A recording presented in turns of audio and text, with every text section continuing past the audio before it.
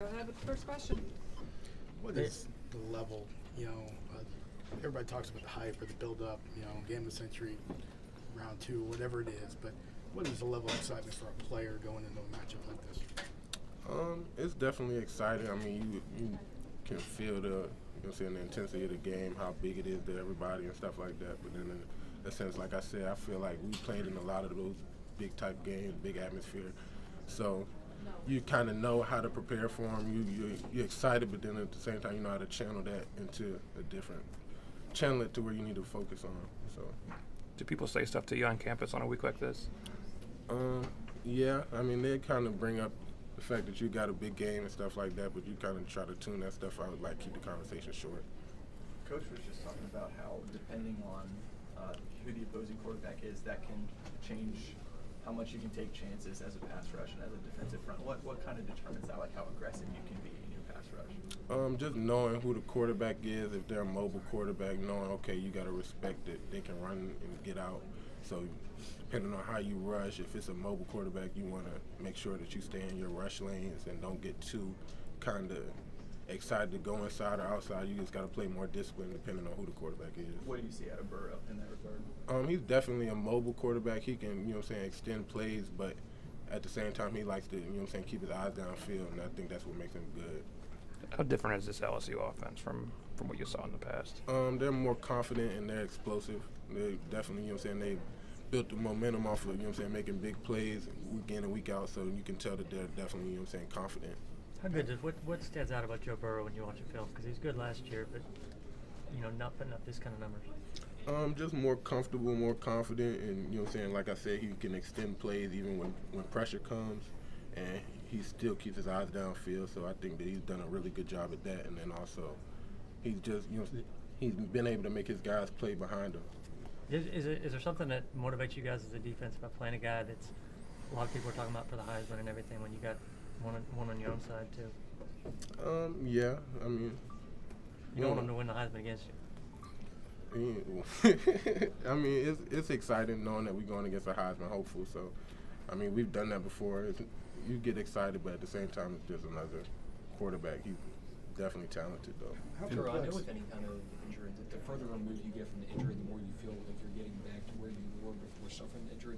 Do, do you feel like the, these last few weeks that you've truly like started to get back to where you were before the, the ACL? Have you felt that? Um, yeah, I mean, sure. I, I don't really feel like it's been that much on my mind as much as everybody else's, kind of. So I've been feeling comfortable. I think it more so it's starting to come into the light as far as like how I've been playing, and you can tell I've been playing probably faster and faster. But me, I feel like I've been comfortable. It's just more so turning it up a notch, basically, and keep building off of each game, building, building, building. That's kind of been my focus. Just get better each and every day.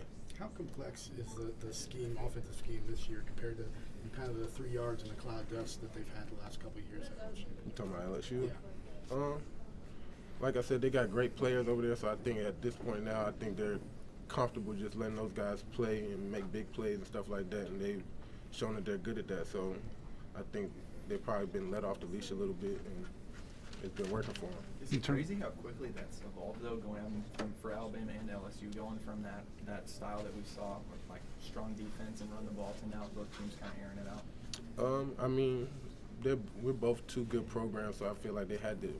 We both had to evolve to how the game is going, so it's definitely becoming a passing game now, explosive offense. So at some point, you know what I'm saying, big schools like this, they're gonna get the best players, so they evolved and just built off of what they've been recruiting. In terms of their scheme, does it remind you of something that you've already seen this year or even last season? Um, last season, I didn't really watch them too much. I mean, I know they had a good offense still, but I know this year they're definitely, you know what I'm saying, a very balanced offense, can make big plays, can run the ball, can do everything that, you know what I'm saying, you ask for out of offense. So, Have you seen any of the comments from the LSU players talking about how they want to dominate this game and coming for people's heads and stuff? Mm-mm. that hasn't been on the sign anywhere in the weight room. no, I haven't seen it.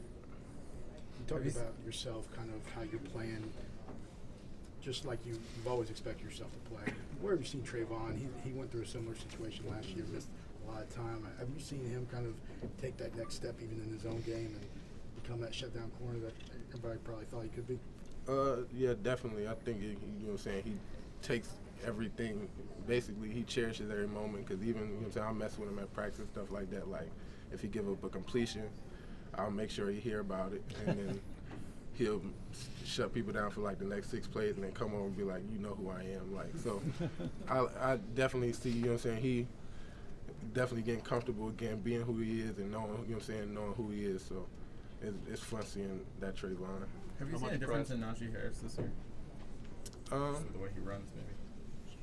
No, not really. Najee been running like that. I mean, he run hard. You know what I'm saying? You never know how to tackle Najee, so you don't know, you know what I'm saying, what button he might press. He might try to run you over, might try to spin, might try to hurdle. So anything that y'all seen, and I already seen. With all the formations and personnel groupings that, that a team like LSU can throw at you, how does that affect you as a pass rusher? Um, you just got to play the plays, get a rhythm for what they kind of want to do in certain situations, and uh, go from there. Don't want to play hesitant because then that'll slow you up. But at the same time, you want to, you know I'm saying, just play discipline. How much pride do you guys Last take in the home winning streak? Um, we take pride in winning, so we don't really think about that. I didn't know about the home winning streak. I just want to win every game. Okay. Thanks, Drew.